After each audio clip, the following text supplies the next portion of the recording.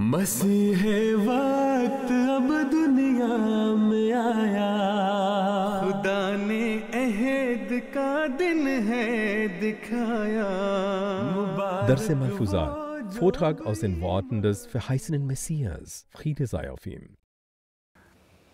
Assalamu alaikum wa rahmatullahi wa barakatuhu. Liebe Zuschauer, herzlich willkommen zum heutigen Dars aus den Schriften und Aussagen des verheißenen Messias. wir können uns glückselig schätzen, dass wir den verheißenen Messias erkannt haben und versuchen, gemäß seiner Lehre auch zu leben. Der verheißene Messias hat in seinen Aussagen wichtige Hinweise und Wegweisungen für uns mitgegeben auf dieser Reise der Spiritualität zu Allah Ta'ala. An einer Stelle schreibt der verheißene Messias über einen wahren, aufrichtigen Menschen, über einen Muttaki, also jemand, der gottesachtsam ist, gottesfürchtig ist. Er sagt, in Wirklichkeit ist es so, dass derjenige, der sich von Gott fürchtet, in vielen Schwierigkeiten gelangt.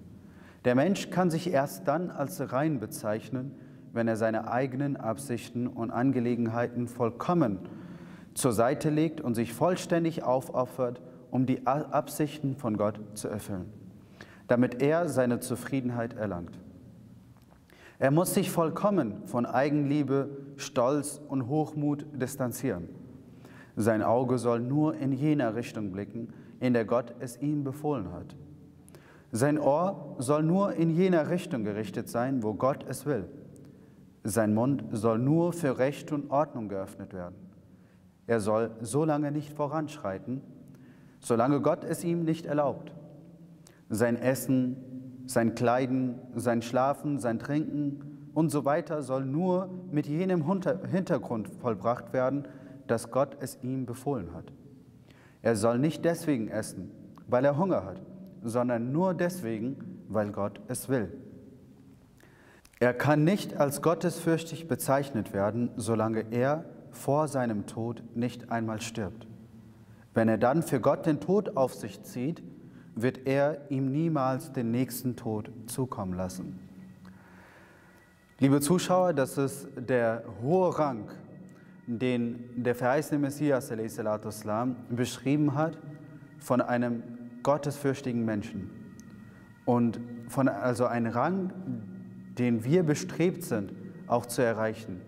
Aber dafür ist es notwendig, dass der Mensch einen Tod auf sich nimmt. Aber dann ist die Belohnung dafür, dass Allah Ta'ala ihnen keinen nächsten Tod mehr zukommen lässt, dass er spirituelles Leben erlangt. Der verheißte Messias Islam, hat an einer anderen Stelle darüber geschrieben, dass es kein einfacher Weg ist, diesen Rang auch zu erlangen. Er schreibt an einer weiteren Stelle, die Erlösung ist mit der Erkenntnis verknüpft. Und die Erkenntnis kann durch die Liebe gesteigert werden, weswegen es sehr wichtig ist, dass man diese Liebe auch besitzt. Es gibt zwei Sachen, die die Liebe weiterentwickeln können. Einmal die Schönheit und dann die Güte. Was für eine Liebe kann derjenige aufweisen, der die Schönheit und die Güte von Allah nicht kennt? Allah sagt im heiligen Koran, ولا يدخلون الجنة حتى يلج الجمل في السم الخياط. Das heißt, dass die Ungläubigen nicht in den Garten eingehen werden, solange ein Kamel nicht durch ein Nadelöhr geht. Die Exegeten nehmen diese Tatsache wortwörtlich. Jedoch sage ich, dass diejenigen, die Erlösung verlangen, das ungezügelte Kamel ihres Egos durch ihre Anstrengungen so sehr verkleinern, dass sie dadurch durch das Nadelöhr passen. Solange sich das Ego durch die weltlichen Genüsse und Begierden vergrößert hat, kann es durch die reinen Wege der Scharia nicht in das Paradies gelangen. Ihr sollt eure weltlichen Genüsse vernichten und euch durch die Gottesfurcht verkleinern, damit ihr da durchpassen könnt.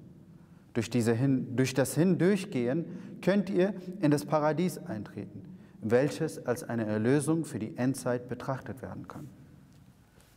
Liebe Zuschauer, der verheißene Messias hat hier klargestellt, dass wenn wir einen hohen Rang erreichen möchten, wenn wir unter denen zählen wollen, die gottesfürchtig sind, die gottesachtsam sind, dann ist es notwendig, dass man sein Ego verkleinert, so dass man durch das Tor des Paradieses passt. Menschen, die ihr Ego nicht überwunden haben, können diese Ränge nicht erlangen und somit auch das Paradies, nicht erlangen. Möge Allah uns alle dazu befähigen, dass wir die beschriebenen Ränge eines gottesfürchtigen Menschen von dem verheißenen Messias, diese Ränge, dass wir diese auch erlangen mögen und möge Allah uns die Kraft und die Fähigkeit geben, dass wir unser Ego äh, überwinden können und verkleinern können, so dass wir seine Liebe erlangen. Möge Allah uns dazu befähigen. Jazakumullah al-Jaza. Assalamu alaikum wa rahmatullahi wa barakatuh.